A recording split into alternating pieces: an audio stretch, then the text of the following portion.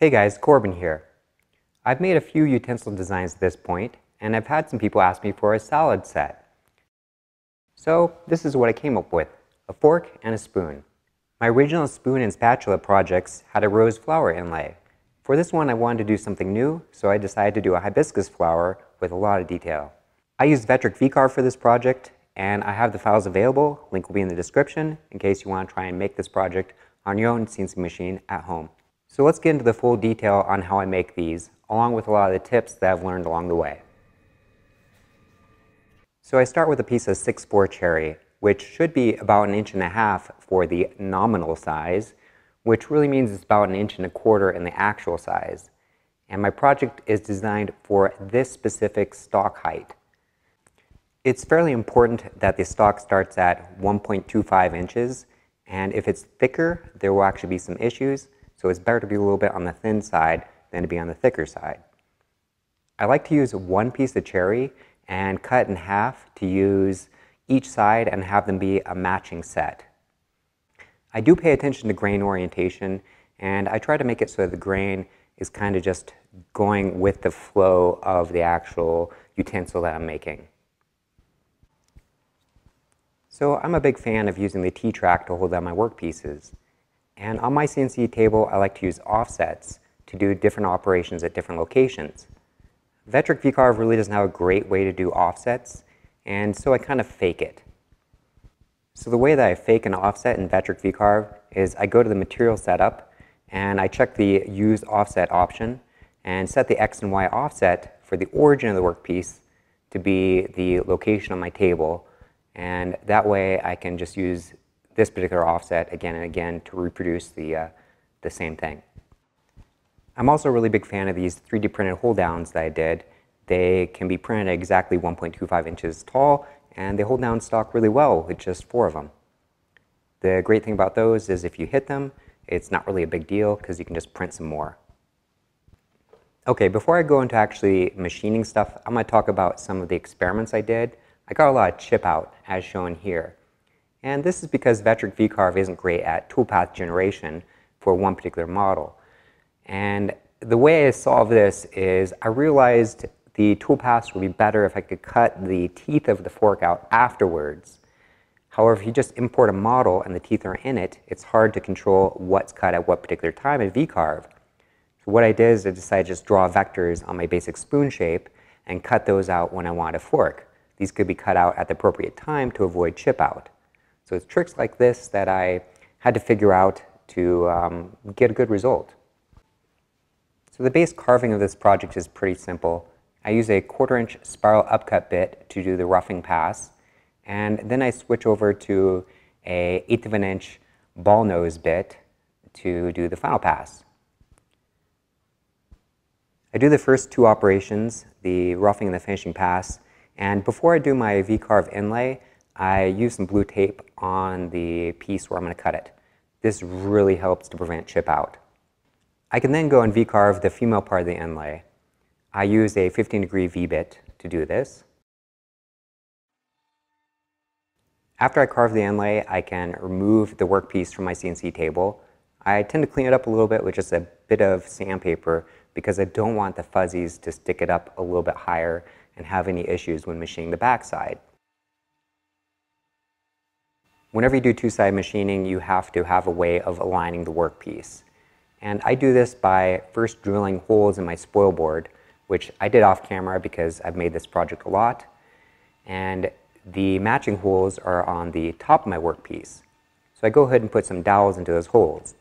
If you're doing this project for the first time, you probably want to use quarter inch wood dowels, but I've done it a lot, and so I like to use quarter inch metal dowels because I can use them again and again without them getting destroyed. So I put the metal dowels into it, I flip my piece back over, and put it on the work table. Hold it down with the same clamps that I held it down before with. And all I do now is I drill some alignment holes again. And the reason I do this is so that I can put it back on the table to clean up the plug, which I'll come to in just a little bit. So the next step is to make the plug. And I use a contrasting wood. In this case, here's a piece of ingrain walnut. It's pretty important as ingrain in order to get good detail without having chip out. So one of the things you'll see me doing in the video where I'm setting stuff up is I have a little spacer. This just helps align things to exactly where I need it to be based on my uh, dowel holes, the dogs that I have. I use a different offset than what I did before and just set up a V-carve like I mentioned earlier. And you could actually see the other one being machined in the background as I set up the plug to do the plug for this particular piece. I use my same 3D printed hold downs to hold down the workpiece. So this V-carve is not on a flat surface. It's projected down onto a curved surface. And in order for me to have the plug work correctly, it also has to be curved. It has to be basically the inverse of the shape I'm putting it onto. So first I have some tool paths that will generate this curved inverse of my spoon handle. Once that shape is done, I can actually make my plug with a V-carve inlay. So I V-carve with a 15 degree V-bit first, and I do it in multiple steps just to make it a little bit easier to machine out. After I do the V-carve with the 15 degree bit, I come back with my clearance bit, which is an eighth of an inch spiral downcut bit. I found that doing the V-carve with the V-bit before the straight clearance bit would give me better results. So once I have the plug done, I can take it over to the bandsaw and cut off the excess pieces. I then do a little bit of cleanup and picking. So I pick away any of the blue tape that's left on my uh, main piece, and I use an X-Acto knife to kind of clean up any little fuzzies or anything that might look like it might cause some interference when I'm going to glue the two together. So the glue up is pretty straightforward. I use waterproof glue because this will probably be washed a lot. I put it just only in the female part, the inlay on the main workpiece. I shove it in with a little brush to get in all the nooks and crannies. And then I carefully place the inlay, the male part of the inlay, the plug, into it. You can kind of feel it seat into it. And then I clamp it down. Now there are some tricks to getting this inlay to be really tight without any gaps but I will probably discuss that in some other video at some point. Once the glue dries, 24 hours, I take it back over the bandsaw and cut off the majority of the waste. So at this point, I can put the metal dowels into those holes on the bottom side of my workpiece and mount it back on the table exactly at the same position it was when I did the uh, top carving. This allows me to do the cleanup pass. The cleanup pass for the plug is exactly the same carving pass as the main whole fork or spoon, but I just limit the area to be a little small uh, rectangle. It does a roughing pass, and then it comes back with the same eighth of an inch ball nose and does the cleanup pass, or sorry, the finishing pass. So at this point, I can take it off the table, remove my dowels from the bottom side, put them back into the top side, and mount it back on the table to do the bottom side of the uh, project.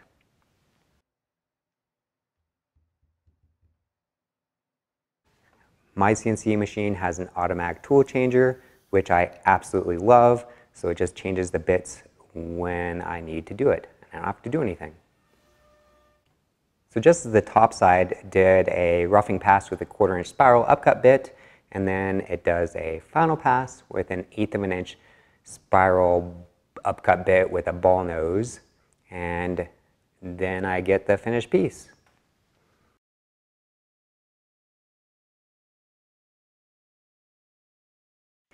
All that's left now is to cut off the tabs. I use a multi-tool to do this and if you look at this piece you'll see that it's actually an epoxy fill of a rose. And if you do an epoxy fill it's a lot easier than doing the wood inlay and the trick is to just use a little bit of silicone caulk to limit the epoxy from going everywhere. Sanding's my least favorite part of any project. It's like the necessary evil. And V-carve is really terrible at leaving rough edges on the sides of 3D carvings. This is just a ramification on how that program works. And it just requires a lot of sanding to get them be smooth, and then you can sand more to get the finish that you desire. So generally I'll start with maybe 100, go to 150, and then go to 220. After I sand with 220, I like to wet the piece. And I use a spray bottle with very clean water to lightly mist it. This raises the grain, which is pretty important on a piece that will be washed a lot and finished with some oil. You don't want someone to get it and use it and then realize that it's all fuzzy because they used it without you raising the grain. After I raise the grain once and let it dry, I sand it again with 220. Finishing these is pretty easy. I like to use walrus oil, which is just a cutting board oil, but any type of food safe cutting board oil like mineral oil would probably work fine. I put on a coat, let it soak in for 24 hours, and wipe off any excess, and that's all I do. You could add another coat if you've used it for a while and it feels like it's kind of getting a little dry in between uses. So that's pretty much it for making this salad set. Uh, if you guys have any questions, uh, feel free to ask me in the comments. And uh, yeah, thanks for watching. Bye, everyone.